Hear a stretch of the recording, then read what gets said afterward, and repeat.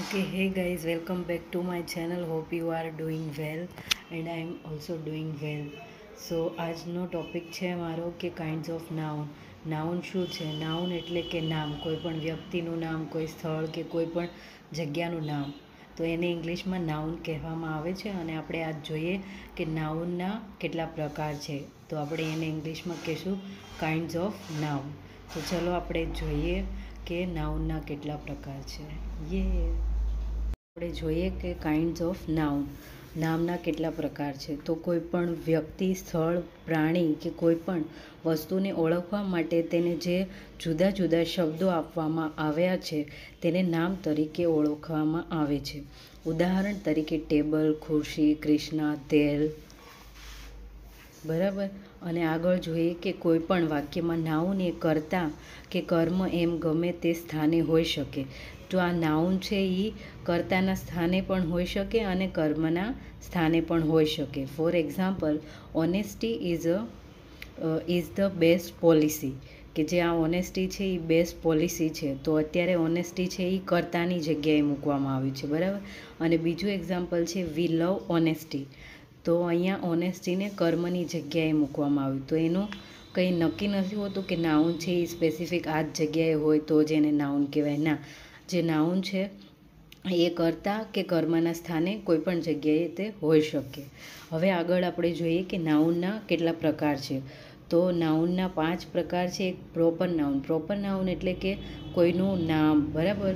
કે જે વ્યક્તિવાચક નામ હોય એ પછી બીજું છે કોમન નાઉન કોમન નાઉન એટલે કે જે જાતિવાચક નામ છે એને કોમન નાઉન કહેવામાં આવશે. અને કલેક્ટિવ નાઉન કલેક્ટિવ નાઉન પછી ચોથું છે મટીરિયલ નાઉન અને પાંચમું છે એબ્સ્ટ્રેક્ટ નાઉન તો હવે આપણે જોઈશું કે કોમન નાઉન છે એ શું છે? તો કોમન નાઉન એને ગુજરાતીમાં જાતિવાચક નામ કહેવામાં આવે છે. તો એનું વ્યાખ્યા આવી રીતે અને એને આવી રીતે ઓળખી શકાય કે કોઈ પણ નામ તે નામ દ્વારા સૂચવાતા સમગ્ર વર્ગ કે જાતિ માટે વપરા, વપરાય તેને જાતિવાચક નામ કહેવામાં આવે છે.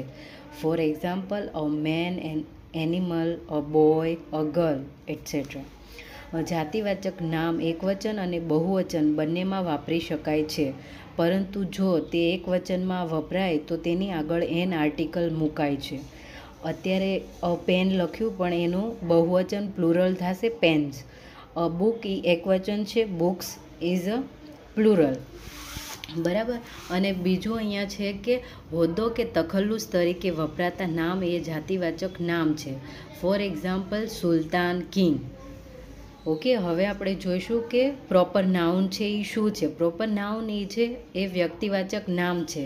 વ્યક્તિ, વસ્તુ કે પદાર્થ, ખાસ કરીને ખાસ કરીને નામને વ્યક્તિવાચક નામ કહેવામાં આવે છે. ફોર એક્ઝામ્પલ મારું નામ કૃષ્ણા છે. તો કૃષ્ણા છે એ પ્રોપર નાઉન છે. મુકુંદ છે એ પ્રોપર નાઉન છે. અહેમદાબાદ સિટી છે, એ પણ એક પ્રોપર નાઉન છે. અને પ્રોપર નાઉનનો પ્રથમ અક્ષર હંમેશા કેપિટલ લેટરમાં જ લખાય છે. અહીંયા કૃષ્ણા, મુકુંદ, અહેમદાબાદ જે લખ્યું છે એ બીજી એબીસીડીમાં નહીં, એનો જે પહેલો અક્ષર છે એ હંમેશા કેપિટલમાં જ લખવાનો. અને એ રૂલ છે, બરાબર? એમાં તમારે કંઈ દિમાગ દોડાવવાની જરૂર નથી, એ રૂલ છે. તેની આગળ આર્ટિકલ કોઈ મૂકાતો નથી. તો આપણે નામની આગળ કોઈ પણ આપણે આર્ટિકલ મૂકી શકીએ નહીં. કોઈ પણ વ્યક્તિ, સ્થળ, શેરી, મોહલ્લા, ઇમારત, વાહન વ્યવહારના સાધનો અને ટુકડી વગેરે પ્રોપર નાઉન તરીકે ઓળખવા ઓળખાય છે. ફોર એક્ઝામ્પલ મુક્તા આ નામ છે, બરાબર? પછી ઇંગ્લેન્ડ, તો એ દેશનું નામ છે. સુંદરનગર, તો એ કોઈ જગ્યાનું નામ છે, કોઈ શેરીનું નામ હશે. ગીતાંજલિ એક્સપ્રેસ, તો એ પણ એક વાહન વ્યવહાર જે છે, એનું નામ છે, બરાબર? પછી આપણે આગળ જોઈએ કે કલેક્ટિવ નાઉન એટલે કલેક્ટિવ નાઉન એટલે કે સમૂહવાચક નામ. કોઈપણ નામ તેનામાં સમાવિષ્ટ સમગ્ર સમૂહને રજૂ કરે તો તેવા નામને સમૂહવાચક નામ કહે છે. For example a herd a crew a crowd a team તો આ જે બધા નામ છે એ એક લોકોનું નથી. પોતાની આખી ટીમ એટલે કે એમાં જૂથમાં લોકો હોય છે, એને એને આપણે કલેક્ટિવ નાઉન કહેશું. એટલે કોઈ એક વ્યક્તિની વાત નથી કરવામાં આવી. એમાં આખી ટીમ હોય છે. ટીમ એટલે કે એકથી વધારે જે વ્યક્તિની જે સંખ્યા હોય એને સમૂહ કહેવામાં આવે છે અને જે સમૂહને રિપ્રેઝેન્ટ કરે છે એને કલેક્ટિવ નાઉન કહેવામાં આવે છે. ઠીક છે? આગળ છે કે સમૂહવાચક નામ જો તેમાં સમાવિષ્ટ તમામ વ્યક્તિઓને એક સમૂહ તરીકે રજૂ કરતો હોય તો તેને એક વચનમાં મુકાય છે અને ક્રિયાપદ પણ એક વચનનું જ હોય છે. ઠીક છે? હવે આપણે આગળ જઈએ. કે પરંતુ જો તેમાં સમાવિષ્ટ તમામ વ્યક્તિઓને અલગ એટલે કે વ્યક્તિગત રીતે રજૂ કરે તો તે બહુવચનમાં મુકાય છે અને તેનું ક્રિયાપદ પણ બહુવચનનું જ હોય છે. તો આપણે એક્ઝામ્પલથી સમજીએ કે the jury was one in its opinion. તો અહીંયા જ્યુરી જે છે જ્યુરી મેમ્બર્સ જે હોય, એની વાત કરવામાં આવી છે. જ્યુરી ક્યાં હોય છે? એ કોર્ટમાં હોય છે. બરાબર? તો જ્યુરી છે એ એક એક વ્યક્તિની વાત કરવામાં નથી આવી. અહીંયા અહીંયા પહેલાં જે પહેલાં એક્ઝામ્પલમાં એક જે જ્યુરી એટલે કે આખી જે એની પેનલ છે, એની વાત કરવામાં આવી, પણ અહીંયા આપણે એક વચન લીધું છે. અને અહીંયા વર આવ્યું. વોઝ અને વર એ તો તમને ખબર છે ને, વર છે એ બહુવચન છે. તો અહીંયા વર એટલા માટે આવ્યું કે અહીંયા એ એના વિશેની વાત કરવામાં આવી છે. અહીંયા જે જ્યુરી છે, એના જે લોકો છે, એને નિર્દેશ કરવામાં આવ્યો છે અને અહીંયા અહીંયા જે જ્યુરી છે, એના જે ઓપિનિયન અલગ અલગ જે જ્યુરી મેમ્બર્સ જે હોય છે પેનલના લોકો એણે અલગ અલગ અલગ ઓપિનિયન આપ્યા છે. એટલા માટે અહીંયા વર એટલે કે બહુવચનનો ઉપયોગ થયો છે. The jury were different in their opinion, એટલા માટે અહીંયા વરનો યુઝ થયો છે અને અહીંયા વોઝનો યુઝ થયો છે. બે જે નામ છે એ તો એક જ છે. જ્યુરી છે એ એક વ્યક્તિનું નથી. કેમ કે જ્યુરીમાં ત્રણથી ચાર મેમ્બર હોઈ શકે, પાંચ મેમ્બર હોઈ શકે. તો અહીંયા જે પહેલું વાક્ય છે એમાં એક એક એના ઓપિનિયનની જ વાત કરવામાં આવી છે કે જે જ્યુરીના મેમ્બર હતા એણે પોતાના ઓપિનિયનની વાત કરી. પણ અહીંયા શું કીધું બીજા સેન્ટેન્સમાં કે જ્યુરીના જે મેમ્બર્સ છે એમણે પોતાના અલગ ઓપિનિયન જે હતા એ પોતાના અલગ અલગ ઓપિનિયન દર્શાવ્યા. તો અહીંયા અલગ અલગ ઓપિનિયન્સ છે, તો એટલે અહીંયા વર આવ્યું છે. ઠીક છે? હવે જોઈએ કે મટીરિયલ નાઉન એટલે કે દ્રવ્યવાચક નામ. જે નામ ધ, પ્રવાહી કે વાયુરૂપ. સોરી જે નામ ઘન, પ્રવાહી કે વાયુરૂપ પદાર્થને સૂચવે તેને મટીરિયલ નાઉન કહે છે. મટીરિયલ નાઉનને આર્ટિકલ લાગતો નથી. કે આપણે એવું ના કે શુગર એન્ડ શુગર એવું કંઈ લાગે નહીં. કેમ કે શુગર છે, એને આપણે કંઈ ગણી ના શકીએ. ઓઇલ છે, એને પણ આપણે ગણી ના શકીએ. ગ્રામમાં અને એવી રીતે ગણી શકાય. એટલે અહીંયા આપણે આર્ટિકલ નહીં લગાડીએ. એના માટે હાવ મચ હાવ મેની એવી રીતે યુઝ થશે. ઠીક છે? અહીંયા કોઈ આપણે આર્ટિકલ્સ લગાડતા નથી.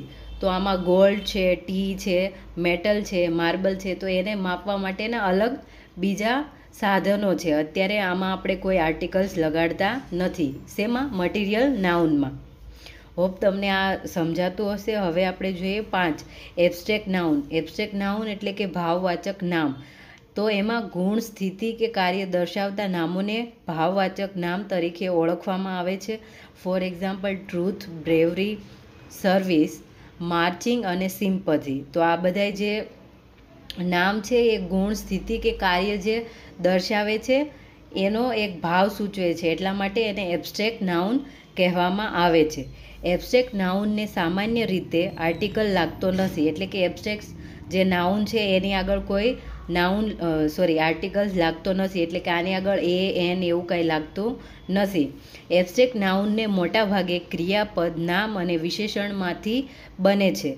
એટલે કે એબ્સ્ટ્રેક્ટ જે નાઉન છે એ મોટાભાગે ક્રિયાપદ, એટલે કે વર્બમાંથી બને છે નામ, એટલે કે નાઉન અને વિશેષણ એટલે કે એડજેક્ટિવમાંથી બને છે. ફોર એક્ઝામ્પલ પહેલાં આપણે વર્બ નાઉન અને એડજેક્ટિવ જોઈએ. તો પહેલાં વર્બમાં જ છે ચોઈસ સાઇટ એક્શન અને લાફ્ટર તો આ બધી વર્બ છે, બરાબર? એટલે કે આ ક્રિયાપદ છે. અને બીજું છે નાઉન એટલે હવે અહીંયા યુથ છે મેમ્બરશીપ છે ચાઇલ્ડહુડ તો આ બધાય છે એ નામ છે. અને એડજેક્ટિવ એટલે કે વિશેષણ. તો એમાં છે ફ્રીડમ ડેફ ડાર્કનેસ બરાબર? અને બીજું છે કે શાસ્ત્રો અને વિષયોના નામ પણ એબસ્ટ્રેક્ટ નાઉન ગણાય છે. For example history English Sanskrit તો જે શાસ્ત્રો અને વિષયોના નામ છે, એને પણ એબસ્ટ્રેક્ટ નાઉન તરીકે ઓળખવામાં આવે છે. તો આજનું આ લેસન અહીંયા પૂરો થાય છે. Hope this lesson will help you and all the best